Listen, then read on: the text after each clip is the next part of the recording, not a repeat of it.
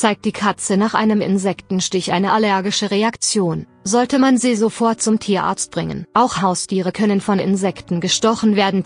Meistens ist das unproblematisch. Doch bei einer Allergie sollten Halter schnell handeln.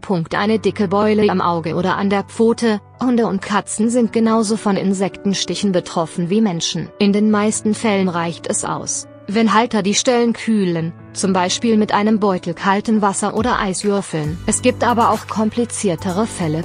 Je nach Einstichstelle können die Atemwege zuschwellen und das Tier im schlimmsten Fall ersticken, warnt die Organisation Aktion Tier. Gefährdet sind Haustiere, die an einer Allergie gegen Insektengifte leiden. Hier besteht die Gefahr, dass Hund oder Katze einen allergischen Schock bekommen. In der Regel wissen Halter erstmal nicht, ob ihr Tier allergisch auf Insektengifte ist. Deshalb sollten sie den Vierbeiner nach dem Stich genau beobachten beobachten und die Schleimhäute kontrollieren, wenn Sie eine Lefze anheben und mit dem Daumen kurz und fest auf das Zahnfleisch drücken. Sollte es erst weiß und danach sofort wieder rosa werden, dauert es bis zur Rückfärbung länger, ist schnelles Handeln angesagt. Halter sollten mit Hund oder Katze sofort zum nächsten Tierarzt fahren, um den Schock schnell behandeln zu lassen.